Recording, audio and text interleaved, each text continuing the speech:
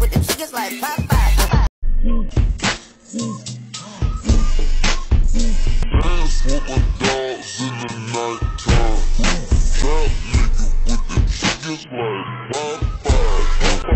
So guys, as you may be aware, this particular TikTok that Jojo Siwa did is kind of getting everyone talking because as you can see it's one of these TikToks where she reveals secrets about celebrities she's worked with or met and the one that's got everyone talking is the fact that she refers to Candace Cameron Bure as the rudest celebrity she's ever met.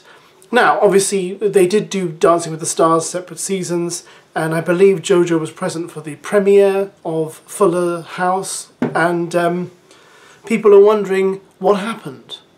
What did happen? Now, does Jojo Siwa mean that Candace is rude as in bad language, crude jokes, or does she mean she's rude as in she's just not a very nice person? I don't know. No one knows. The thing that concerns me the most, of course, is that I know Candace Cameron Bure is a big-time Christian, and she does a lot of Christian entertainment, and I am also a Christian, and I always get really concerned when the name brought up of the person who no one seems to like or get on with is that of a Christian. Because I get, I just think, well, what, what did they do? And did they bring, you know, even more bad light to the name, word, description, Christian? And it does concern me.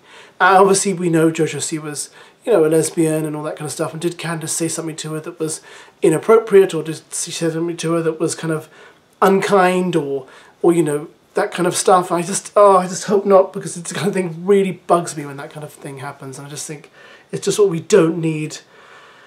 But I could be wrong. Let's hope I'm wrong. I think you all know I'm probably not wrong. But thanks for watching, guys, and goodbye.